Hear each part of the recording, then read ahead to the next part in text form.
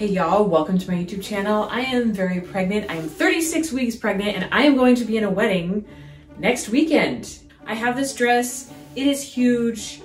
I bought it huge when I agreed to be in the wedding because I knew I'd be pregnant. So anyways, now this video is about altering it to make it look right. I'm actually going to have to take out most of the waistband. I don't think I'm going to take out the whole thing, maybe about half of it, just so it rests up here. And I'm going to have to shorten this up here because this is hanging because my belly is pushing everything up. So I ordered this dress longer, wider. I got a wider bust area and a really big waist area just to make sure that I could fit. And it actually does fit pretty accurately right now. Like it actually stays on me. so you're probably asking me, why did I just not buy a maternity dress? Well, honestly, the styles that were in maternity just did not fit the bride's style. And I was like, hey, I know how to do this. The only thing I can do at this point is basically take the dress apart and I will take this waistband off, probably trim it really thin. I don't know if I even want to keep the waistband, but I'll experiment with that. So I'll just take the whole skirt off. Now I detached the zipper from the waistband and you're probably wondering, how did I do that? This is a little bit confusing. Um, let me demonstrate for you how I got to the inside of this dress. We'll just pretend the zipper's not out, but the zipper is out right now. So basically there are different layers in how bridesmaid dresses are made and this is so that they can be easily altered and one thing you will find if you go to the bottom of the skirt here is the back seam the zipper is down here and here's the seam going down you have the chiffon layer which is the outside layer there is the dress layer slash lining and there is another layer here so there are two lining layers and then it goes all the way around so basically, when you're altering a bridesmaid dress, you take two, or even a wedding dress, you take these two layers and you open them up in between here. And this is where you do all of your alterations. So let me pull this out here. You will find when you open it up, there is the inside of the dress with all the boning and everything. And you can move the boning around, make your alterations, but that is something that all bridesmaid dresses have typically there was only one dress that I ran into one time, but out of all the alterations that I have ever done. So that being said, I'm going to continue taking this skirt off now that I have, I'm just going to flip the whole thing. It's kind of confusing. It plays tricks on your brain. I'm cheating. I don't recommend this, but I'm just yanking it open because there's a lot to tear out. So I just took this whole part off here. This is the outside skirt, and then there's the lining skirt. So I have, this has one of the linings and the chiffon attached to one. And then this is the layer on the other side that's in between. Remember we have the two layers where you go in between. This is the other layer that has no chiffon on it. And I'm going to take this off as well. If I were doing a professional alterations job, I would not be ripping this but because I know I'm going to be doing all kinds of alterations on here and cutting and shortening, I don't feel as guilty. All right, so I just basically took the bodice off and I'm gonna work with the bodice first and then work with the actual skirt. I'm gonna take this waistband off. Well, I don't know, I might trim it I'm still undecided because I don't know how the gathers on the gathers are going to look. So I might leave like a really thin strip to have as a little small waistband. I'm not sure. So I'm on Pinterest and I'm looking at these and it looks like there's a little bit of some gathers mixed in there on the top and the bottom, but those are more crisscross. Oh, this isn't too, well, this has a waistband on it. Let's see, this, this is exactly actually what I'm going for. This is a perfect example and it looks like there is a little waistband in there. So I'm going to keep a thin waistband just to divide the top from the bottom.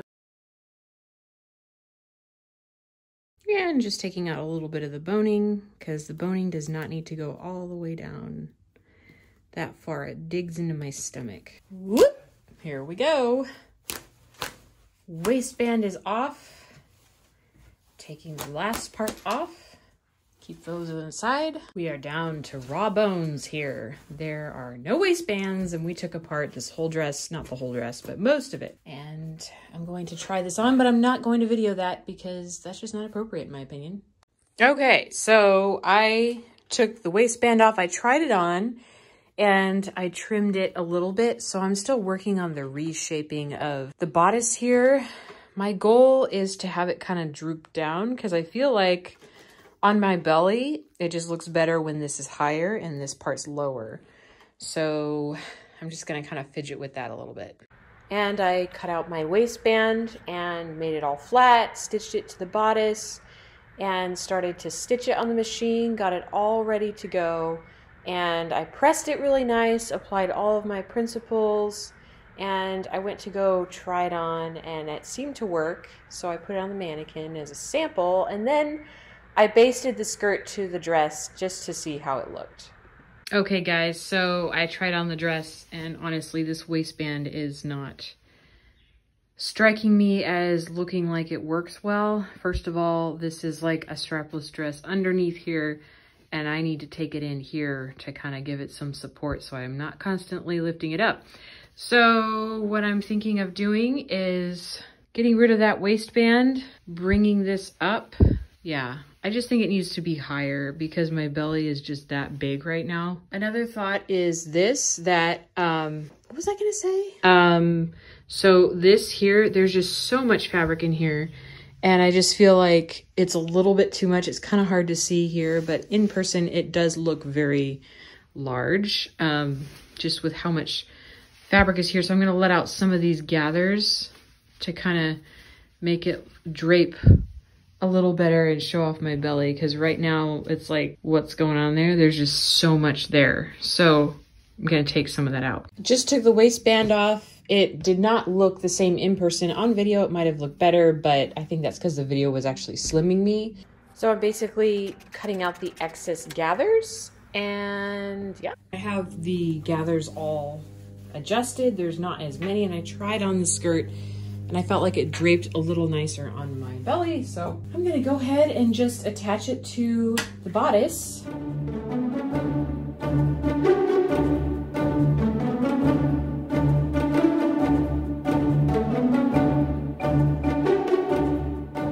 Okay, so I released all of those gathers and everything, and I feel like I don't look as huge as I was before. So I'm actually really happy with how this looks. I think this looks much better without the waistband there in the front. And it just needs some pressing. The gathers are a little bit fluffing out, but I'm gonna go with it. I actually really like how this looks and the back looks pretty decent. So yeah, I'm just gonna go with this. So it's completely done and I closed up everything. Got the zipper all done. Got that all nice and sewn up, looking normal. And I'm going to try it on now that it is completely done. And I didn't go through how I did the zipper because that will be for another video. Um, you'll just have to subscribe to my YouTube channel because if I do another formal, I will show you how to do things like that. So, but this is how I made it into a maternity dress. And here we go. I have not hemmed the dress yet because I'm still going to get shoes, but this is what it looks like. I just basically took the waistband out and that was it. And I raised it to an empire waist so that it would fit over my belly. So anyways, um, I have been busy with a lot because I'm pregnant and actually, by the time the next video is posted, the baby actually might be here. I am not dropping off the face of the earth. However, I am basically, in a way, going on maternity leave pretty soon, so you might see me a little bit pregnant in some of my videos, like, wait a minute, she went backwards, she shrunk her belly. But that is because I had to record some things ahead of time so that there would be some content for you guys. I actually made Cinderella's dress, so, um, her day dress. So anyways, hit that subscribe button, like this video, and I will see you all next time.